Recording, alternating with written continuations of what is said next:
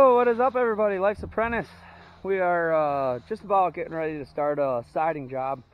But I got a call from a roof we did a few years ago or last year. Um, they wanted our the gutters cleaned. We were in the area, so we're up here cleaning the gutters.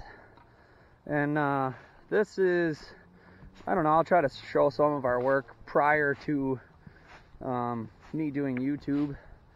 But here she is, definitely needs cleaned. You pull that out of the gutter? Yeah. Yeah? Yeah. Yeah, she's plugged. Look at that. He just pulled a log out of the gutter. Here's one of the roofs we did. I think it was last fall or last summer. Not too shabby.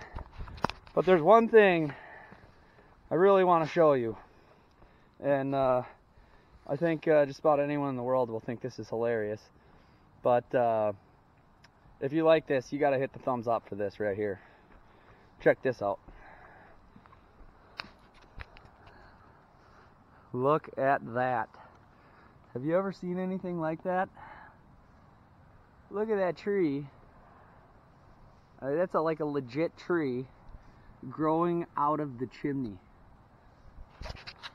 Tell me that is crazy, or I don't know. I've never seen anything quite like that. That is absolutely insane. But uh, quick little video. We're gonna get these gutters cleaned, and uh, we're gonna go start doing some soffit and fascia, and uh, doing a little siding on the garage. So if you like that, hit the thumbs up, subscribe, and uh, we will see you on the next one.